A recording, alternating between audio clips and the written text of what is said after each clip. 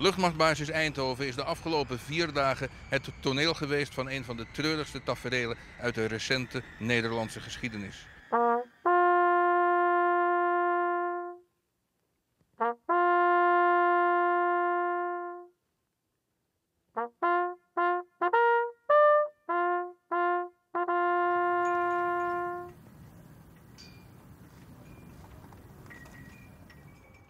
De aankomst, het uitladen en overladen van 227 kisten met de stoffelijke resten van slachtoffers van de zinloze maar onherroepelijke ramp met vlucht MH17.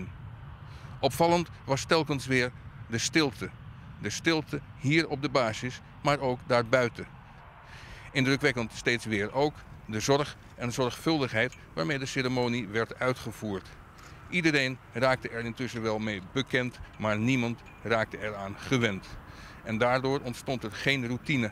Werd ook de laatste kist vandaag met net zoveel respect behandeld als de eerste kist woensdag.